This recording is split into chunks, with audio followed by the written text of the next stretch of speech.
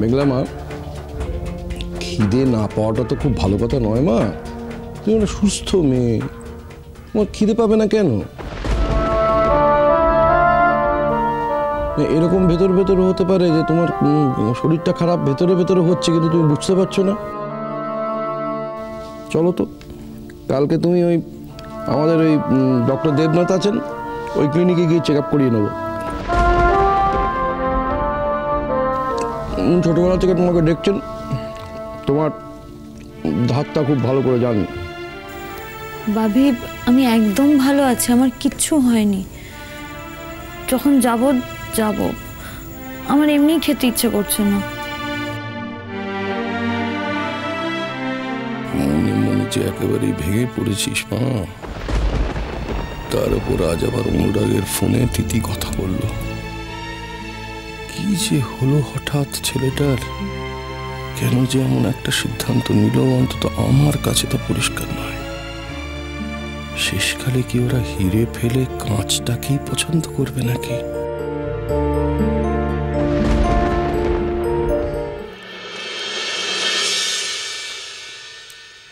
যাক বাবা। আমার খাওয়া হয়ে গেছে। শোনো মেঘলা, খেয়ে দিয়ে উঠে এগুলো সব পরিষ্কার করে শুতে যাবে, কেমন? আচ্ছা মা। ও হ্যাঁ। আজ তো দিদি নেই। তাহলে তোমার একা সাথে ভয় করবে না তো? আমি তোমার সাথে শোনো না না। বাবা। তুমি এমন করে না বললে যেন এর আগে তোমার কাছে কোনোদিন আমি শুইনি? আজ শুলে মহাভারত অশুদ্ধ হয়ে যাবে হুম? না না মা। তুমি তো বলো জায়গা বদল হলে তোমার ঘুম হয় না। তাই বলছি, আমার অসুবিধে হবে না, আমার ভয় করবে না, আমি তো গান শুনতে শুনতে ঘুমিয়ে পড়ব। দেখো কি করবে, আমার বলার কথা আমি বললাম।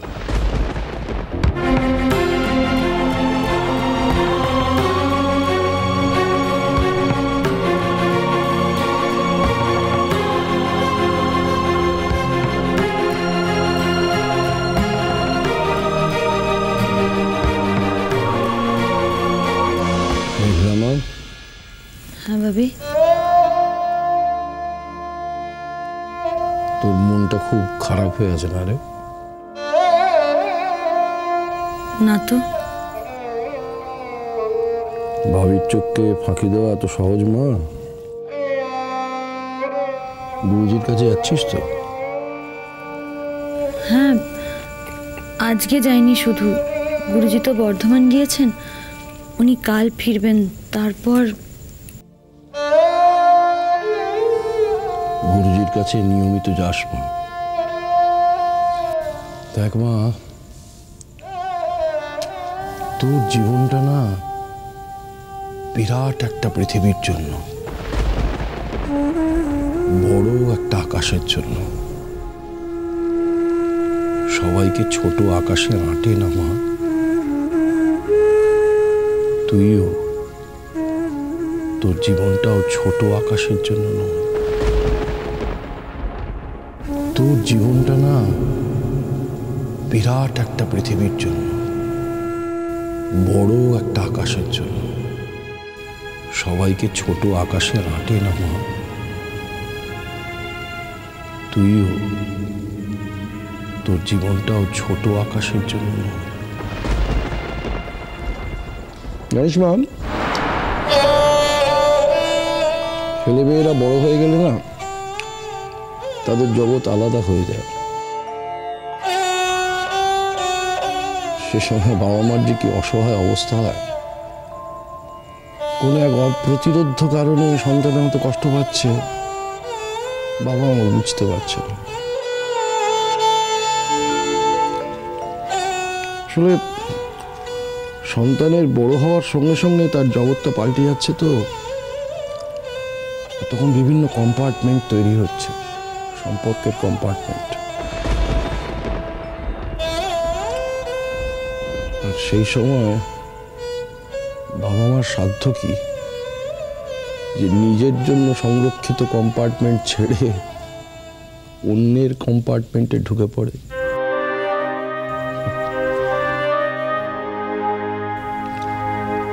আসল কথা কি জানিস মা?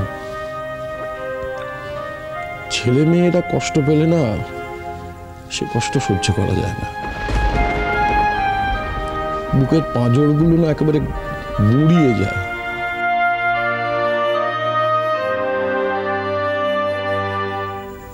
আমার কোনো কষ্ট নেই ভাবি। শোন মা কষ্ট থাকতেই পারে। কষ্ট থাকতেই পারে। কিন্তু সেই কষ্টের কাছে নিজে কেন পরাজিত হব? কষ্টটাকে বুকের মাঝখানে লুকিয়ে রেখে তাকে পোষ মানা। তাহলে সেই কষ্টটা আর তোকে দাহ করতে পারবে না।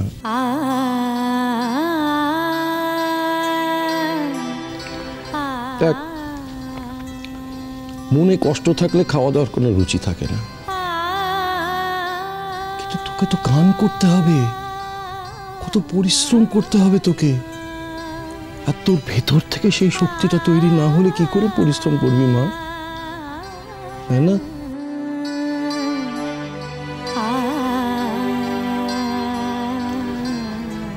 কাল থেকে ভালো করে খাওয়া দাওয়া করবে মা, হুম?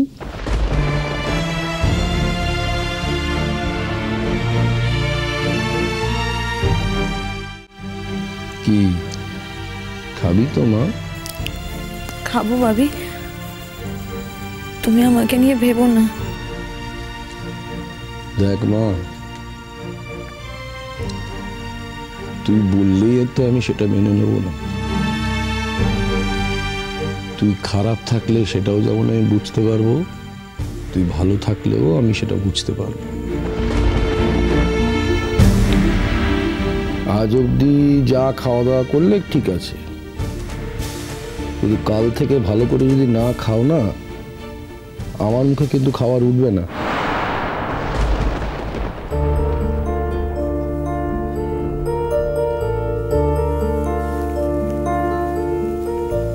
জীবনের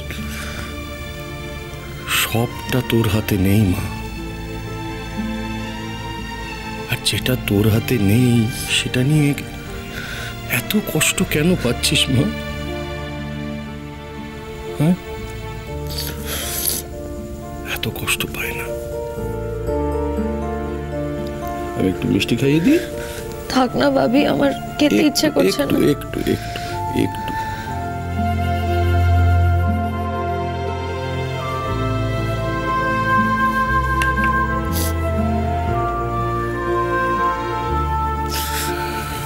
ওহ।